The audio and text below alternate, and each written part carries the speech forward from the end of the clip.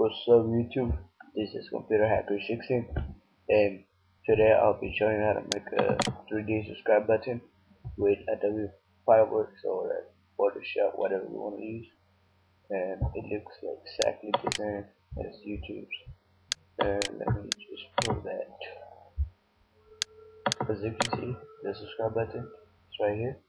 The text is like dark orange. This one is dark orange. The shape.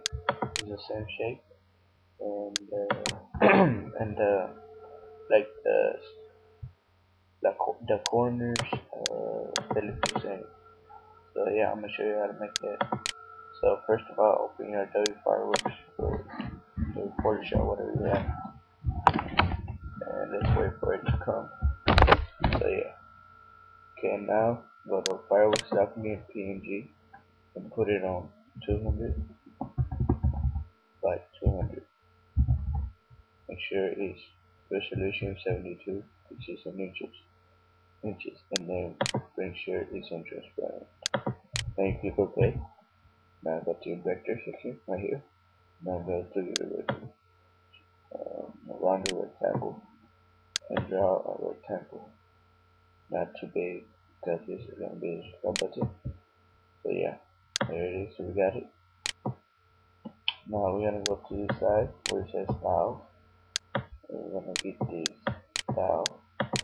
This one. I don't know how you call it. But I'm assuming you have to see and find the same one. Right there. Now, okay now. Now you got it.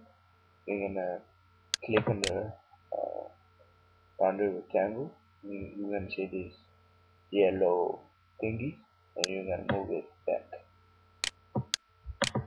that's gonna give our corners the same ones as YouTube corners. So yeah. And now what we're gonna do is click go to text tool and click on the subscribe button and write subscribe and make it smaller or you can leave it like that. Okay like that. Make sure your font is on Arial. Arial, whatever you call it. Arial, okay, yeah, hold the Arial and make sure it comes to your font put it on orange. Just type never mind never mind don't choose a style. Yours is gonna be like whatever color but you're gonna go down here and change it to dark orange. There. So now we're gonna subscribe button. We're gonna go to file save it. And you can save it as a PNG or JPEG I'm gonna use uh, PNG because it gives you more quality. You just click save, and there we got our subscribe button. So yeah, hope you enjoy. Thanks for watching. See you next time.